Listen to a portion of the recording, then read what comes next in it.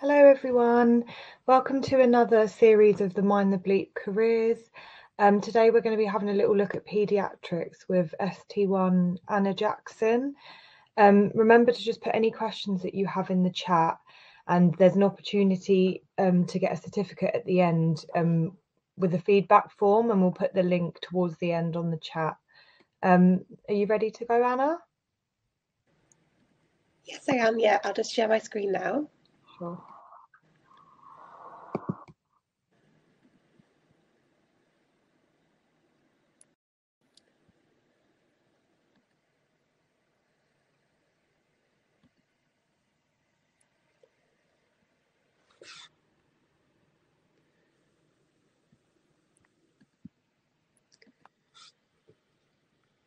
Okay, just so I can get before I get started, can I check that everyone can see the big slide there?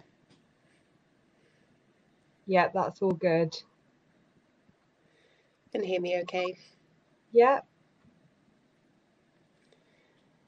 Perfect. Okay, so my name's Anna. I'm one of the um, paediatric ST1s, and I'm currently training in the Northern Deanery. Um, and that just means that I'm in the first year of my paediatric specialty training. Um, so I'm going to start by talking a bit about paediatrics today, but I'll start by introducing myself. Um, so this is me when I kind of started thinking about doing paediatrics. Um, I did my undergraduate degree at um, Newcastle Medical School, um, where I got perfect in pedi- where I got in, uh, kind of interested in paediatrics in my first year. Um, I remember one of the very first lectures I went to that was like clinical lecture. One of the um, neonatologists was teaching us a bit about the life cycle, and he brought a newborn baby into the lecture theatre um, in a cot um, and kind of examined it in front of us all. And that's what made me initially interested in paediatrics. Um, I kind of got a bit of exposure during medical school, um, but I appreciate that is quite hard to do, um, which is something I'm going to talk about a little bit later on. Um, so I applied to do my foundation programme at one of the district general hospitals in the northeast, which is based in Sunderland, and actually got a paediatric rotation as part of my F2 year, which is the second year of your foundation training. I really enjoyed that placement, but I wanted a bit more experience. Um, so I applied for a year as a paediatric teaching fellow, um, and that was working for Newcastle University and Newcastle Hospitals. I spent half my time teaching medical students, mainly about child health, and the other half of my time kind of working clinically. And I realised that that was definitely what I wanted to do. So I applied for paediatric specialty training in the Northern Deanery and started in September. So that's just a little bit about me. Um, but now we'll move on to talk a bit more about paediatrics in general. So I've just got a clip here um, and people might have seen this. This is from Geordie Hospital, um, which was on Channel 4 recently. Um, I've just got this short clip to show you a bit about why I like paediatrics. Um, this is actually a patient I looked after, and I was actually working on the ward when they filmed this. So I've just got a really short clip just to show you.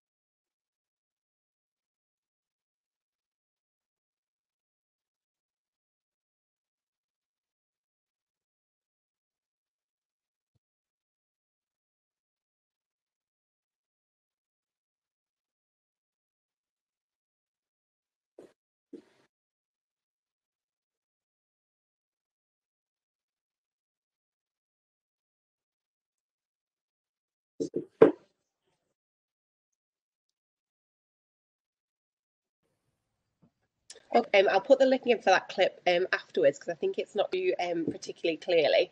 Um, but that was just a clip of a little boy that I looked after called Kit, who you might have been able to see in the video.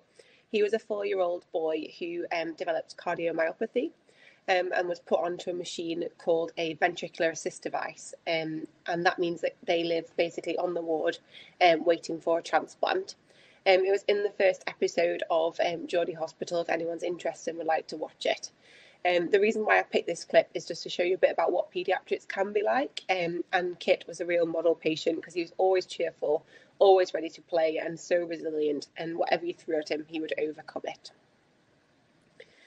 So I'll put the link in for that at the end. Um, so what is paediatrics? Um, so I think I probably didn't fully understand this until I started working into the specialty myself. Um, but actually, paediatrics cover all the way from conception to 16 years and actually beyond. So a lot of our paediatric specialty consultants work in fetal medicine, so particularly the cardiology consultants and the renal consultants, where they go and meet families um, when they're still pregnant with a child and explain to them a bit about what's going to happen when that child is born. Um, we go all the way through childhood, all the way up to the age of 16, and actually quite a lot of the time beyond that. Um, we keep a lot of our children with complex needs up until the age of 18. And there's actually a move towards keeping um, type 1 diabetic patients up until the age of 25. And that's because actually type 1 diabetes, the worst control is age 19 to 25. Um, and that's because they kind of go into uni or get in their own houses, and therefore the control of diabetes deteriorates. And it's felt that actually in paediatrics we might manage that slightly better. The other thing um, is to note is that it's run through training. So what that means is that you apply um, at the start of ST1 and it's run through for eight years up until you become a consultant. Um, so it's not like other specialties where there's a split between core and then you apply to be a registrar. You just apply, you get the job, and you go all the way through. And then finally, a bit about what you can do as a paediatric consultant. Um, so consult, paediatric consultants are based in lots of different places um, but they tend to be placed in either a tertiary centre, which is a big children's hospital, usually in one of the main cities in the UK, um, or in a district general hospital, um, where they might do slightly different jobs. Um, some paediatricians as well are based in the community um, or at various genetic labs and things like that. Um, when you become a consultant, there's two main options. So you can become a general paediatrician where you look after um, children a bit more generally, um, or you can be a subspecialist with a special interest in a certain area. I think this is slightly different to the way it's done in kind of adult medicine, where a lot of uh, most of the consultants will have a special interest but might cover general medicine as part of their role. In terms of choosing to specialise, there's two different options, um, which I will talk a bit more about later on. So the first option is something called GRID, which is where you actually become a subspecialist in the area. Um, so at the end of your general paediatric training, you decide, no, I want to subspecialise in a specific topic, and you will become a consultant in that specific topic. I've just kind of got a bit of a picture here to look at the broad range of topics that you can cover, because I think that's one of the real advantages of paediatrics is how broad it is.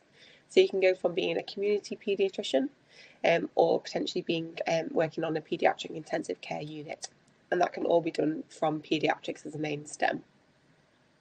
I'll just leave that slide up for a little moment just so you can have a little read through. Certainly specialties that I wasn't really aware of um, before was things like metabolic medicine, which is a big part of paediatrics. Don't tend to have that as much in adults um, because we diagnose and manage a lot of metabolic conditions when when children are younger. Um, and also you can work in child mental health and paediatrics as well. So it might be that you wanted to subspecialize, and in which case you would do something called grid, which we've just talked about. Or some people decide that actually, no, I still want to be a general paediatrician. I still want to work with children um, on the wards or in clinics with kind of general paediatric problems, but I do have a specific interest in this certain area. And these are all the potential options that you can do. Um, particular ones of note are things like safeguarding, so you might become a named doctor for safeguarding and work with the police on child protection medicals. Or you could um, have an interest in something like high dependency units, which where you work work in a kind of DGH, um, but look after the more acutely unwell hospital, uh, acutely unwell patients in that hospital. A couple of our consultants have an interest in HDU and then in transfer medicine as well. So they work for our transfer service um, with the ambulances, transferring acutely unwell children from kind of around the region to the tertiary centres.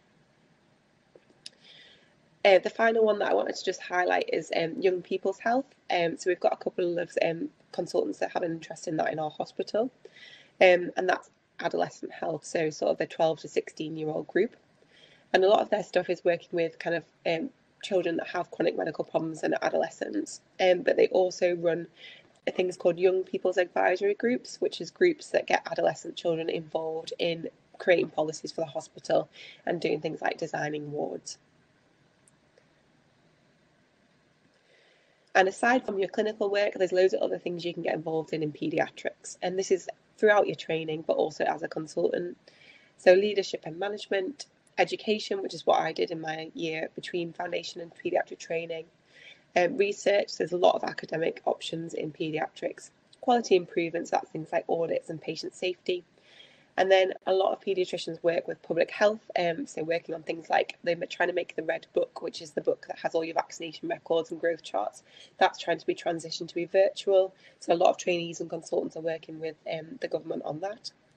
Or you might have interest in health technology, and sometimes paediatrics is a real leader for health technology particularly as I mentioned in like type 1 diabetes, a lot of our patients will have the blood implanted blood glucose monitors and insulin pumps, which aren't as available um, for adult patients.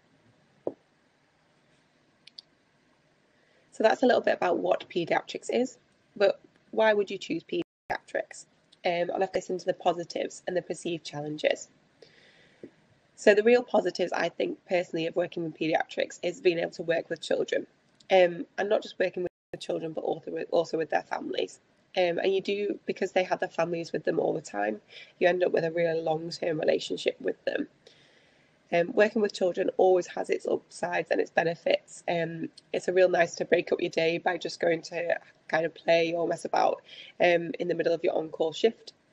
Um, the other day, I spent about half an hour reading a book to one of our patients because their mum had to pop out to go and get some stuff from home, um, and that really made my on call shift. As we've kind of covered in the previous slides, there's a real broad range of opportunities, both clinically and outside of the clinical environment. And I do think it's one of the kind of last remaining truly general specialties if you pursue to decide to be a general paediatrician all kind of pediatric teams are really friendly and supportive. Um, the consultants kind of go by their first name terms and they're always approachable and you're kind of never going to be shouted at for contacting or escalating to them. And then the bottom two things are something that you might not think about. Um, I personally really like the diagnostic challenge that you get in paediatrics. So a lot of children are presenting with genetic problems or metabolic problems or endocrine problems um, that when you work in adults, they'll already have that diagnosis. But we're kind of at the start of that process and making those um, diagnoses, which is really interesting. And kind of piecing together all different bits of the puzzle um, and deciding what test to do um, is really rewarding. And I am going to cover this a bit more detail, but procedures um, procedures are a bit more difficult in paediatrics. Doing something on a tiny baby or a kind of non cooperative toddler is a lot more difficult um, than in some other areas. Um, but as part of that, you get to work with the amazing people such as play specialists who are specially trained to kind of help children get through um, painful procedures or things like taking bloods. Um, and kind of working with a child and explaining to them what you're going to do and then making that as least traumatic as possible is really rewarding. So in terms of kind of perceived challenges, and I've put this because um, as part of my role um, as a teaching fellow, I did a research project looking at um, why what medical students felt the barriers were to paediatrics, and these are some of the themes that came up. So one of the top one, which people always ask me about, is involvement in safeguarding, um, and I think people are worried that they'll find that particularly challenging. Um, safeguarding is definitely a big part of our role, um, and it is involved in kind of all aspects of paediatrics. However, it's kind of my opinion that that's pro- identifying safeguarding concerns and protecting the child and potentially supporting the family is probably the best um, thing you can do for that child in terms of their long term development and their long term outcomes. Emotionally challenging. So, um, it can be particularly emotionally challenging, particularly if you've got children that unfortunately have um, kind of palliative conditions or um, potentially um, might even pass away. It does happen infrequently, um, but it does definitely happen. Um, what I would say to that is, um, yes, it is really challenging, but the team around you are really supportive and really aware of that, and it is relatively infrequent. A couple of things that came out that um, I was a bit surprised about were people were quite worried about the rota and that it was quite intense, um, and the consultant job can be quite intense. I have to say that's not my experience. I don't think my rota is particularly worse compared to my other colleagues at a similar stage of training. And I, I think our consultants are kind of around as much as the um, other consultants I've worked with in other specialties, but that is my personal um, experience. Um, and you can choose to go down um, a route such as community paediatrics where you don't do as much on call work. And finally, this one's a little bit um, challenging and kind of related to the meme in the bottom corner, but some people find like working with parents and carers difficult. I have to say, I find the converse true because it's so rewarding to ask go and take a history from someone and they know every single thing that's ever happened to them where which i found when i worked in adults was um, slightly different because um, it might be that they don't know what their medical problem is or what medications they take but usually parents and carers will know everything about that child um, and aside from obviously some cases of safeguarding, you are usually on the same side and working together.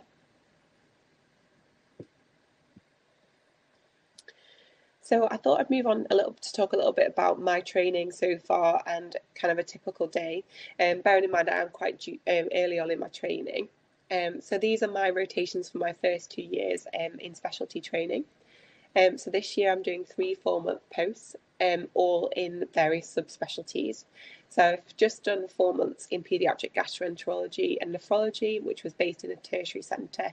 So I was working with children who are on parenteral nutrition, so nutrition through a vein, um, and children who had kid who were on dialysis or had kidney transplants. My current job, I've just gone back to the paediatric cardiology ward that you saw Kit on in that video at the beginning, and that's another tertiary centre, um, and we're one of the two transplant centres in the UK. Um, and then my final job is going to be in paediatric respiratory medicine, um, and we work with kind of children with cystic fibrosis um, and children who are on long-term ventilation, so have things like tracheostomies and things like that. And um, the reason why I've kind of written those um, specialties down is just to show like how varied paediatrics is, but also um, because of the way paediatrics is set up, where there's tertiary kind of children's hospitals in big cities, um, it does mean that certain, every single region has like a different special interest. Um, so Newcastle, where I work, the cardiology centre is really big. Um, we have a very big bone marrow transplant unit. Um, but various other regions and various other hospitals around the country will have their own kind of special area. So, for example, Leeds um, has a special interest in liver, and a lot of the paediatric patients that have liver problems go there. Um, and then in my second year um, is a bit more general. Um, so I'm going to do six months on the neonatal intensive care unit and then six months in general paediatrics at a district general hospital. And that will involve time in clinic, um, so seeing children as outpatients and also some time in um, safeguarding as well.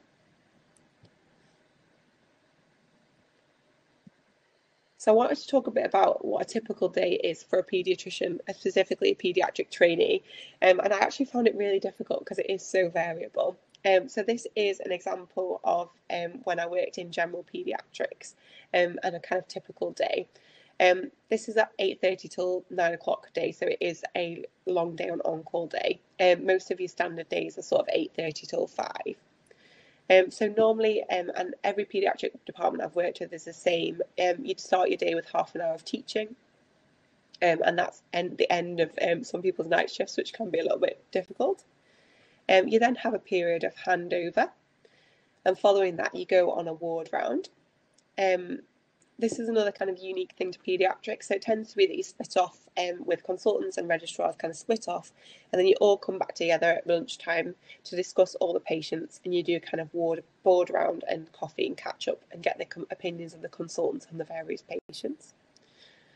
You then can usually get some lunch lunch before you do your jobs from the ward round in the afternoon in most paediatric places, you then do a kind of second ward round, and they're classed called tea time reviews. So those patients that weren't quite well enough in the morning, but might be well enough to go home now, are then seen again, or patients that you're concerned about that might be unwell. At the end of your standard day, you tend to hand over to the on-call team, and then a lot of your out of hours work or on-call work may even be based in the paediatric emergency department, which is slightly different to other areas where you work, where you're mainly ward based and then ending with a handover. And then I just wanted to show you a bit of other things you might end up doing during the day. So um, one thing I quite like is when a mum's like, oh, I just want to go to the bathroom. Do you mind holding my baby? Absolutely. Um, always got time to cuddle a small baby. Um, we always have medical students around because they're all doing their child health blocks. Um, in lots of centres, um, the SHO, so the kind of my level of training, run the prolonged jaundice clinic. So that's babies that remain jaundiced after sort of three weeks of life. It might be that you have a baby come in with a temperature um, and you have to do what's called a septic screen. Um, so that will include putting a cannula in a baby, um, taking a lumbar puncture, and potentially either doing a suprapubic aspiration, which is where you take urine from just below the um, belly button, or um, doing a catheter. Um, you might want to take time to speak to a teenager who's potentially being bullied and, and chooses to open up to you about that. And we have a special tool for talking to teenagers about potential social issues they might be having. There's also opportunities for audit and research, um, which you can get involved with. It might be that your consultant's doing a safeguarding medical, so you might want to go and see that. Or, as I mentioned earlier, you might want to go and read a book to a toddler just while their mum pops out to get some clothes or some food. And finally, something that I think um, is kind of unique to paediatrics, particularly if you work in a, um, a big hospital, um, you might be asked to attend a trauma call as the paediatric representative. Um, so I've been to like things like car accidents, um, major burns um, as the paediatric doctor, and you're there to kind of help with the prescribing of fluids, assessing the child, and cannulating the child. So that's a little bit about what um, paediatrics is like and why I kind of chose paediatrics. Um, but now we're going to talk a bit about the application and the interview. Um, just a caveat to that, um, I applied during the COVID 19 pandemic, um, so some things were slightly different, but having tried to include a bit about what it was like before um, COVID and what it was like afterwards. So, just some of the basic application um, kind of facts. Um, it's national recruitment and it's usually at level ST1s, that's the first year of paediatric training.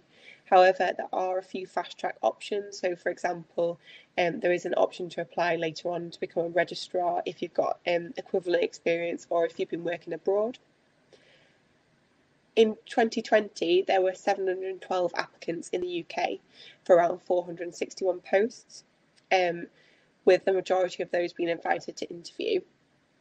The data from last year, which is when I applied, isn't available yet, um, but there were a lot more applicants last year. But I think that was representative of all kind of specialty applications as a whole um, due to the COVID pandemic. So it's similar to other applying for other specialties. You apply in um, kind of November time, interviews are February and March, and then you get offers in April. One of the other kind of advantages is that you don't start until September, so you get a nice month off in August to enjoy yourself before you start your training. It does mean you're always slightly out of sync with your friends, but another kind of good thing about it is that you um, get all your summer leave at once, so you know what your summer leave is going to be until the end of August in advance, instead of changing at the start of August.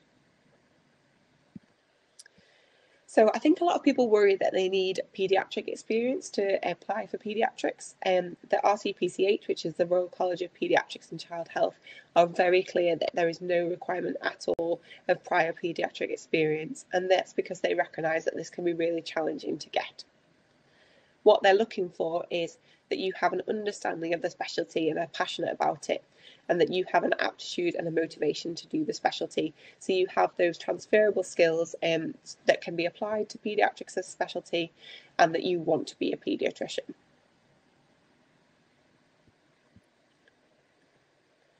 So um, instead of a kind of portfolio, they have an application form, and this is just some of the stuff they ask about. Um, what they want you to do basically is relate any experience you have to paediatrics if possible, um, and they use this to decide who to interview. One thing that just to notice that in all the areas they kind of scored them between like three and five, and the top marks were for your ability to reflect. Um, so they really appreciate the kind of skill of reflection um, in paediatrics, and that's reflected throughout the application process. So things that you can get points for are additional qualifications, which are things like um, uh, like I had my postgraduate certificate in medical education, or you can have a master's, a degree, um, but that's definitely not necessary. The other thing you can get points for is for doing the MRC PCH exams. However, that is definitely not essential, and I don't actually know many people who had their exams before they applied. They then ask for transferable clinical skills and transferable clinical experience. And again, that definitely doesn't have to be in paediatrics. Um, they're just looking for um, kind of your skills that you have and how that could apply to the specialty. They then ask about kind of quality improvement and audit, any leadership and management roles you've had, any academic achievements, any involvement in teaching, and then finally they just ask for a supporting statement where you explain why you want to do paediatrics. So as you can see, it's quite general and quite similar to lots of other specialties, but with no requirement if you're having any experience in that specialty. So if um, you're successfully shortlisted, you're then invited to interview. Um, and I've just split this into how it was pre-COVID and post-COVID. So post-COVID, it's been a virtual interview. I don't know how long that will continue, but I imagine that the setup will be similar. And there's four stations. Um, so there's a communication station where they have a child or parent actor, um, and you have to kind of discuss um, something difficult with them. So I think some examples of like a patient with asthma who's wanting to be self-discharge, or I had a child who um, the nurses were concerned that they might have low mood, um, and they wanted me to speak to them about potentially speaking to a mental health team. They then have a clinical reasoning station, which is kind of like an acute um, scenario of a child who's unwell, um, but they they don't expect you to operate at any level higher than a foundation doctor. Um, then they ask you about why you want to be a paediatrician, and they ask you things like why do, why would you be suited to this career? Have you got any role models in this specialty? And then finally, they just ask you to reflect on um, an incident that you've been involved in, um, and they give you the questions for that in advance. Um, and I think it just highlights again how important they view reflection within the specialty. It was relatively similar um, pre-COVID, um, just that they had a slightly different station on prescribing, um, and that was the main difference. The portfolio station was very similar to the career motivation station. So obviously experience isn't required, um, but there is ways to get experience if you want to see if paediatrics is for you. So I think just as a medical student, the first of all thing I would say is just to make the most of your paediatric placement. Um, when I ran the paediatric placements for our third and fifth years, they were quite flexible, and if you were interested, there was loads of opportunities for you to get more involved.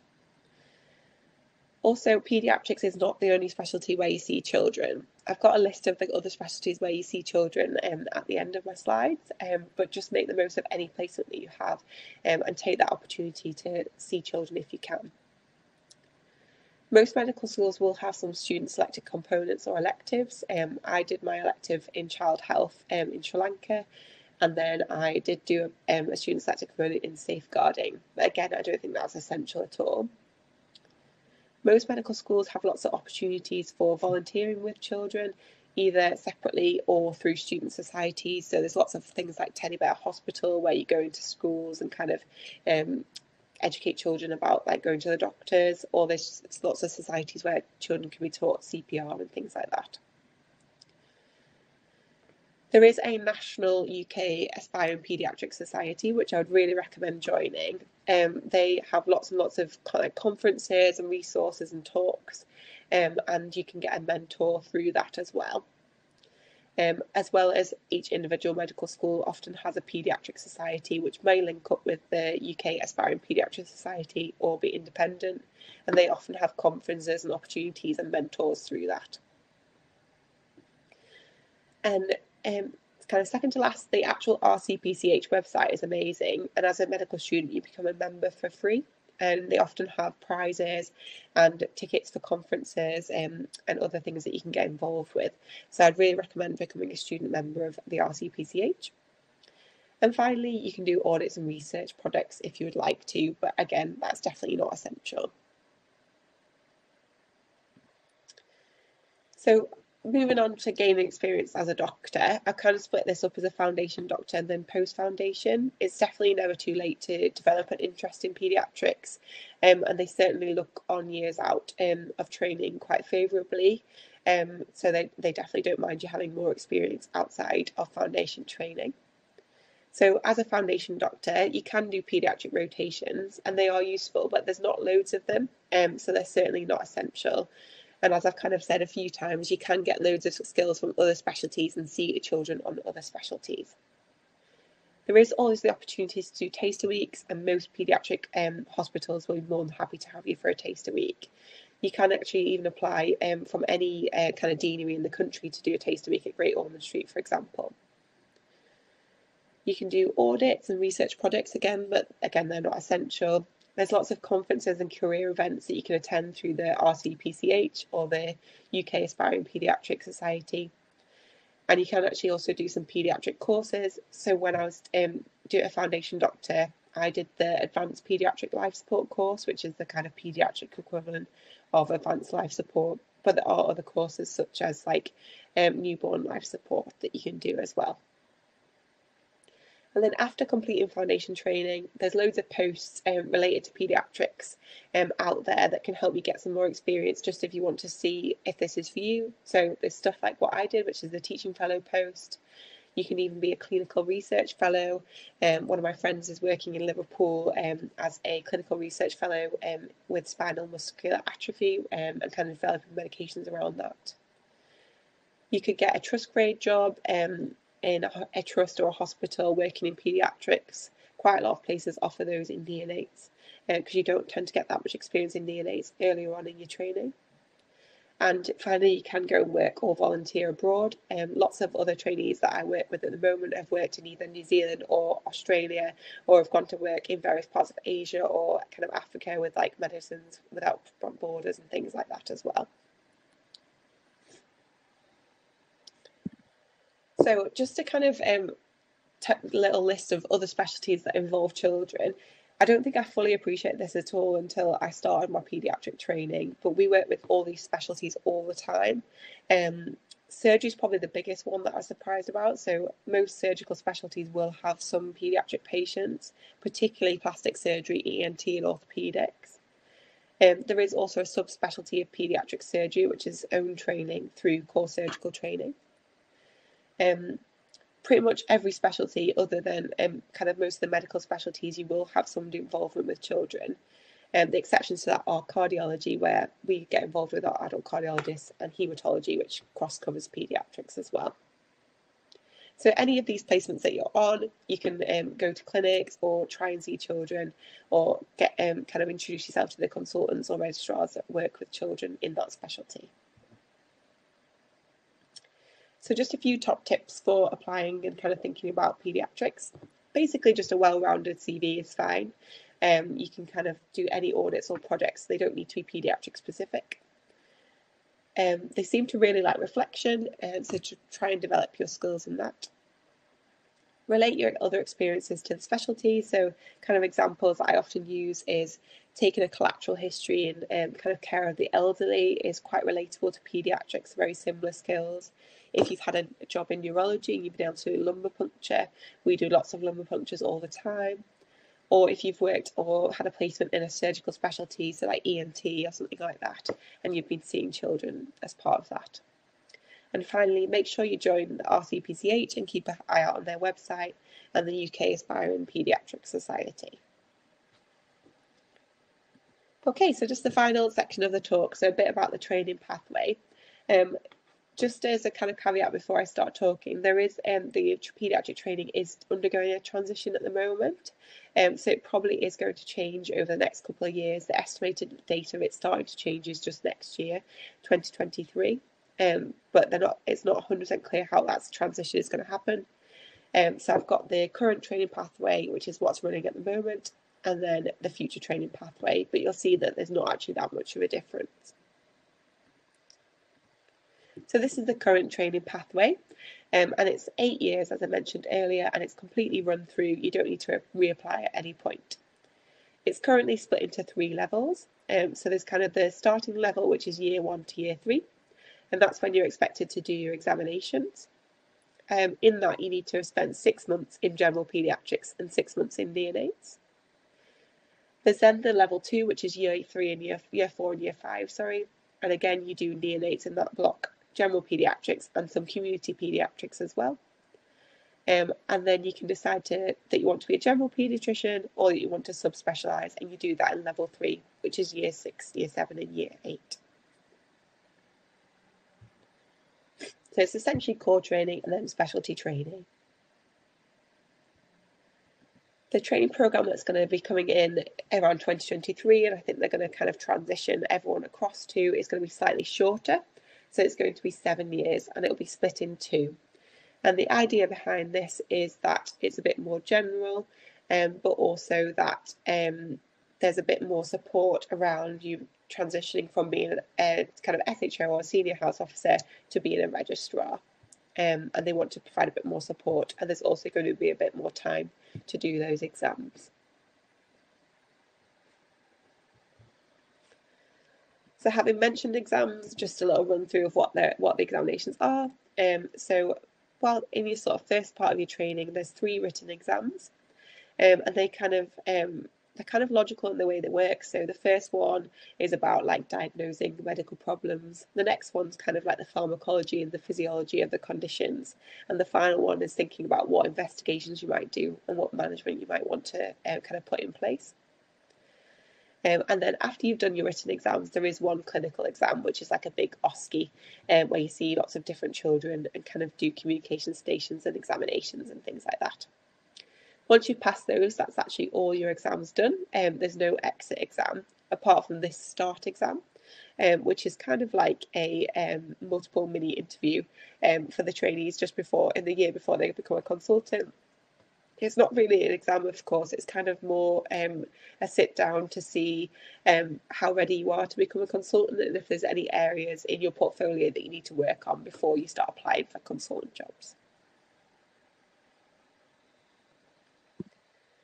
So I just um, wanted to show this slide because I think people aren't really aware of um, the procedures and the wide range of procedures that we do in paediatrics. Um, so on the left of the screen, under mandatory, those are all the procedures that I need to be able to do um, within my first few years of training. Um, we're probably one of the only other specialties, apart from like anaesthetics and A&E, that are required to be able to intubate, um, and we need to intubate newborn infants and we also put in what are called like essentially a of central line through the umbilical cord, and those are essential um, procedures for our training. On the right is kind of just a small summary of the other um, kind of non-compulsory but possible procedures that you can be involved with. Um, and particularly common and interesting ones are um, kind of putting in needles, so intraosseous needles, which are into the bone, um, doing chest drains, which you do quite often on um, neonates, um, and the suprapubic aspiration of urine, which I mentioned, which is where you can get a urinary sample from just below the belly button. Anna? Uh-huh. Sorry, um, I think the um the audience are having a bit of trouble seeing your slides moving along. Oh right, okay. We're on the slide at the moment saying gaining experience as a medical student. Oh right, okay. Sorry about that. I didn't no, realise that people were having trouble. It's okay. I'll just reach There we go. Sorry about that. It's all right.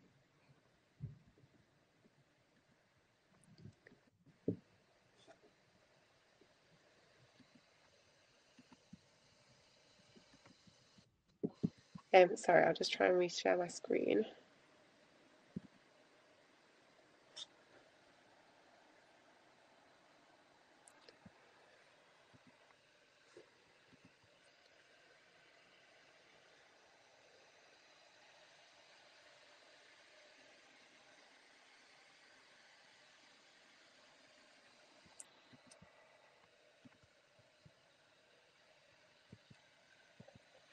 So that's the gaining experience as a medical student slide. Um, is that moving along to the next slide?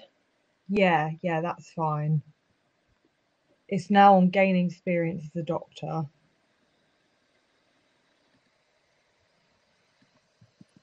Is there, are those slides moving along? Yeah, so that's showing other specialties involving children. Okay, do you want me to just quickly recap those slides that we've missed or? Um, I, I think everyone could still hear, so maybe just just yep. just pick up where you where you left off, if that's all right. Unless any yeah, no needs Anna to go through anything, just pop it in the chat. Yeah, we can go through it. That's no yeah. problem. Okay, um, sorry about that.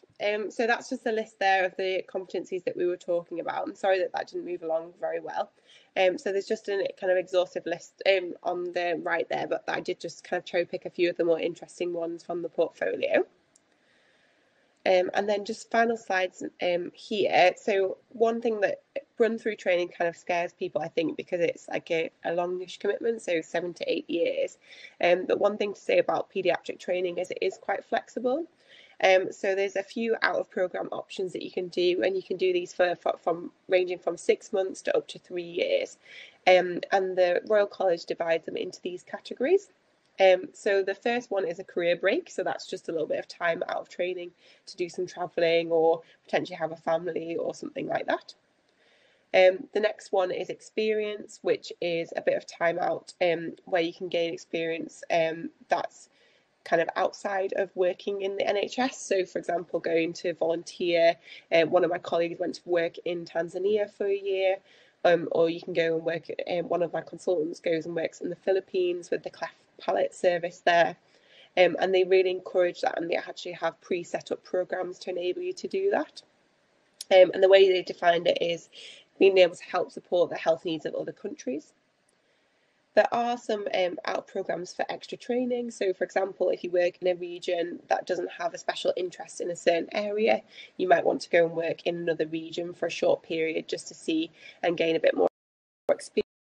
So, colleagues, um, last year he worked in Scotland um, and he moved to our region just for six months to work with children with cystic fibrosis.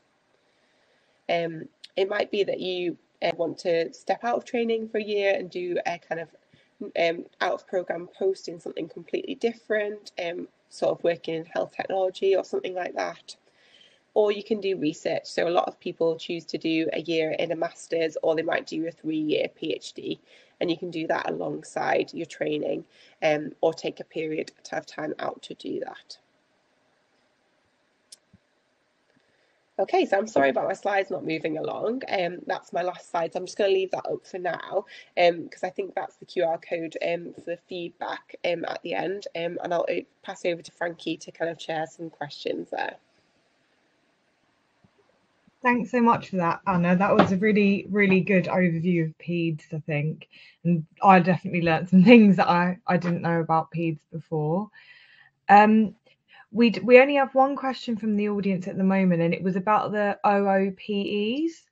Mm-hmm. Um, someone just asked what your personal opinion is of them, and may, maybe you could just tell the audience a little bit more about about those programs. Um, so the out of program, the out of program. Um, yeah, yeah, yeah. Um, so I haven't um done one myself, um, but I have had several colleagues that have done them. I think the most common one is research. So a lot of people have some time out to do kind of a master's degree or um, a PhD, and that's quite common, particularly if people have chosen to subspecialize or work in like a relatively academic hospital. The one that's kind of interesting to me, I think, is the kind of experience one, which is where you get to go and work in um, other countries. Um, and the RCPCH website's got a really good page about those and what those are available. Um, so one of my uh, registrars at the moment, who's a paediatric cardiology trainee now, he went and worked in Tanzania, I think for 12 months actually, and worked in a kind of neonatal unit there, um, where which was like um, kind of quite rural, um, and he was kind of helping with babies who'd been delivered prematurely, um, and then running like vaccination clinics and things like that. Um, it is relatively flexible in terms of taking a bit of a career break and um, to do some training or have family um, but you do just need to apply through your local deanery and kind of explain why you want to do that. Um, but they're usually relatively supportive. And then it's quite common for people to go and do like a fellowship um, in a certain specific topic um, around the region, just because paediatrics is a small specialty. So you can't get all the experience you might want um, in that particular um, region, for example. Um, so quite a lot of people might go to London or um, one of the other big cities to get more experience. Oh, okay. Yeah, that's really interesting. I'd never actually heard of those programs before. Mm-hmm. So you did you say there's information on that in on the RCPH website? Yeah, so the Royal College of um, Pediatrics and Child Health website's got like a full page on it. Um, and then the kind of topics from this slide I got from the Severn Deanery Pediatrics website, um, which is one of the uh, kind of deaneries near London. Um, and they've got a really nice breakdown of all the opportunities you can do. Oh, okay, fab. Yeah, no, that that that sounds like a really good opportunity, especially if you've not had the chance, um, you know, so much earlier on in med school yeah. and early on in your F1 and F2 years. Mm-hmm. Um, so you know, just to the audience, just carry on putting questions in if you want to ask Anna any. I can just ask any, but um, I've got a couple of my own that will potentially help the audience get a bit more information, and then we can pick up mm-hmm. if anyone else has any. So, um, why did you sort of pick pediatrics? What and what do you kind of enjoy most about the specialty? Would you say personally? Um, so I, I think um, from, from the start, um, I kind of um, really, I think it was that lecture that brought the baby into the to kind of um, lecture hall that really made me want to do pediatrics initially. Um, and on the back of that, I arranged like a to do a project with him. So um, I went and spent a few weeks in my summer um, doing like a research project and working in neonates. Um, and that was kind of what made me interested in doing the specialty um, and wanting to learn more about it. Um, for me, I think the main thing is working with children. I just really enjoy it. Um, I think you can be having the worst day, and then you'll see the most like smiley, bubbly three-year-old who was really ill yesterday, but today is loads better, and that just really makes my job worthwhile. I mm. really, really enjoy um, kind of the diagnostic aspects of it because we don't do that many investigations, we don't do that many blood tests. So if a child comes to A and E, um, we don't just automatically get a chest X-ray and a blood test. Um, we really think about any tests that we do, and because of that, you have to really rely on your like history skills, skills, um, and really think about um, kind of coming up with a differential diagnosis before you go ahead and um, order those investigations, um, which is something that I really like. And you also get to see um, them kind of at the start of their um, journey with that illness. So, for example, even like type 1 diabetes or a metabolic condition, we're kind of right at the start diagnosing that um, and kind of working with those children from the start, um, which is something I think you maybe don't get as much in other areas. Um, and I think finally, um, I just kind of I do quite enjoy doing procedures anyway, um, and that was something that I wanted to do in my job. Um, and there is definitely a, a, more challenging aspect of procedures in paediatrics, um, in terms of making it fun and making it not scary, um, and then actually being more technically probably slightly challenging as well, particularly in like the small babies. Yeah. Okay, yeah, so quite a lot of things that you're enjoying about it at the moment then. Mm. um is there anything that you personally have found particularly challenging in your experience so far? Um, yeah, I think so. Um, I think probably the challenging bits are um, the main things are being involved in safeguarding can be really challenging, um, but it can also be really rewarding as well. So um, we do see some kind of difficult cases, um, but I do think kind of advocating for that child, recognising those concerns, um, and um, escalating them and being involved in that process is also really rewarding. Um, and also, I, I, like particularly on paediatric cardiology, unfortunately, um, some of our children don't make it, and um, there is quite a high mortality, particularly in that subspecialty, and that can be quite challenging. Um, but because of that, I think people are very supportive and very aware of that. So um, a lot of my colleagues are really like close um, and kind of do a lot of stuff outside of work. Are always there for each other, and if we've heard that someone's had a bad shift, you'll always be texting and message checking they're okay, arranging to meet up for a coffee. Um, so although there are those challenging aspects of it, um, I think there are the positives too.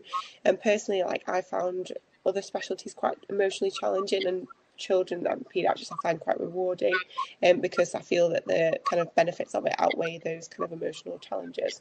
Um, but I guess it's a bit independent to you and how you feel about that. Yeah. And you think there's quite a lot of support in the specialty, so mm-hmm. that kind of yeah. counterbalances the hard bits.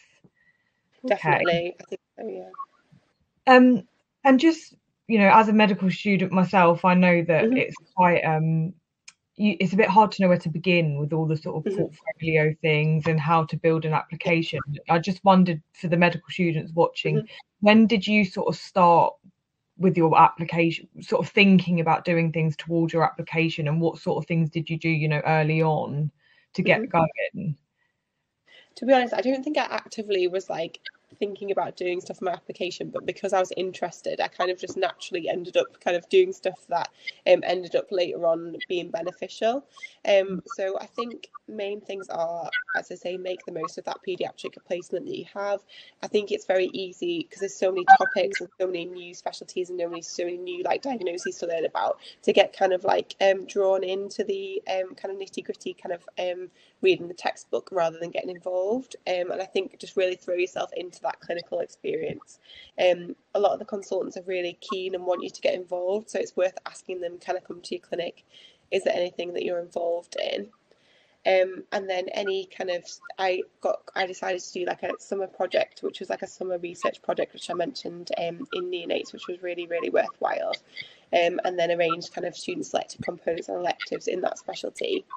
Um, but if you, a lot of people come to paediatrics quite late just because you don't experience it till that later on in medical school, and that's fine too. Um, but kind of trying to make the most of those experiences that you can is really useful. Um, the RCPCH website is really, really good, and the student membership is really good, and so is the UK Aspiring Paediatric Society, and they've got lots of opportunities for you there. Okay, fab. Yeah, that's really interesting. I think also, like you were saying, I think that application sounds a bit more flexible than applications mm-hmm. for other specialties as well. Yeah. Um, I was also just going to say, um, do you mind just popping the page up with the QR code, and then people can continually um, do the yeah, feedback? We've got the link on there as well um, for the audience. We've got the feedback um, link. Um, mm-hmm. there was just two other questions from the audience. Um, so one of the audience members asked, "How do you keep up to date with your medical knowledge at you know now you're in the pediatric specialty?" Um, yeah, so I think one of the um, things that is diff- slightly different about paediatrics is we do have quite a lot of departmental teaching.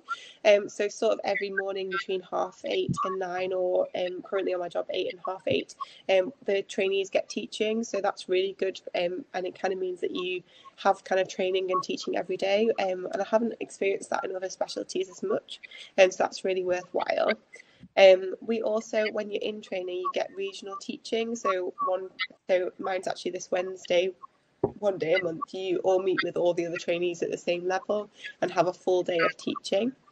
Um, you can also take lots of study leave, so um, you can do courses if you want to, um, or potentially prepare for exams.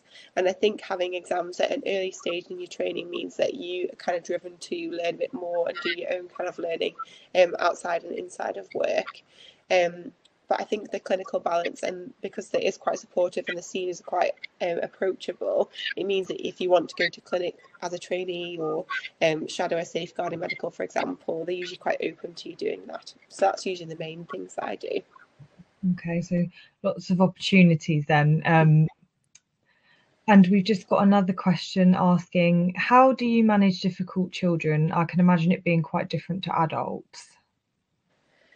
So I guess um difficult. Diff- I, I guess do you if they mean like um, if they're being like um I guess it's kind of different depending on what their age is. I think probably the most difficult age that I find to manage is like the kind of one to two year olds where um, you can't explain to them what's going on, so they're obviously really scared, and then you're coming at them with a needle, and they're like, "Oh, I don't like, don't, don't come near me," um, and that can be quite difficult. Um, but we have these amazing. The nurses are amazing. I have to say, the paediatric nurses are incredible, and they're really good at kind of helping you with those situations. Um, so you never do a procedure on your own. You always take a nurse with you, um, and we do have special trainees, uh, special kind of healthcare professionals, so people like play specialists who are specially trained and often have degrees in essentially play therapy. So, um, and that's kind of um, making situations less stressful through play.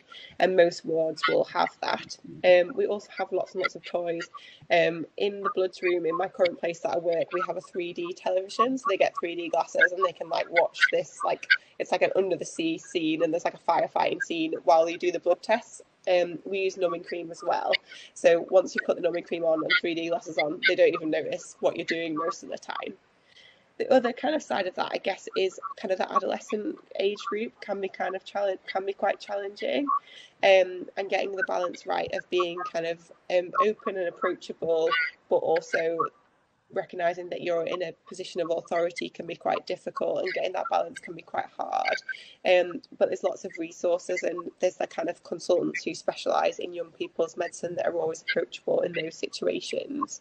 Um, so i guess that's kind of how we handle it. I hope that's answered that question. That's a really good question yeah, I think I think it's true, isn't it? It is very different because I I mean, like your slide says, I think medical students are terrified of peds, and yeah. my experience is that doing exams on them, you just have to be so opportunistic, and mm-hmm. you know, get them while they're not crying and stuff. And it's it is very difficult. It's very different. So I might, you know, I can imagine it must be quite challenging day to day. Like you say, if you're, you know, if you love working with kids, then that's you. Um, I'm just going to make sure we haven't got any more questions. Bear with me just one second. We've just got a few minutes left.